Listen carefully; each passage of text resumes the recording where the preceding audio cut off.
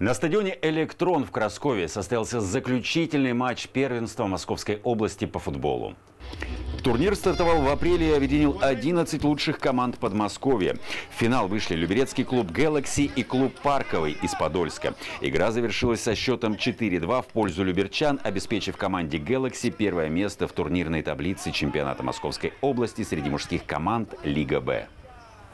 Мы команду собрали э, в октябре, как раз прошлого года. Готовились, играли предсезонные матчи, э, формировали состав. Это у нас 20-я игра, вот, завершающая, заключительная, э, решающая. То есть соперники тоже боролись, сопротивлялись, пытались тоже оспаривать первое место. На следующий год планируем также продолжать, усиливаться развивать тех ребят, кто есть, э, смотреть э, ребят, воспитанников э, местных футбольных школ, которые в этом году, соответственно, соответственно выпускаются, для того, чтобы дальше на ступеньку выше участвовать в следующей лиге.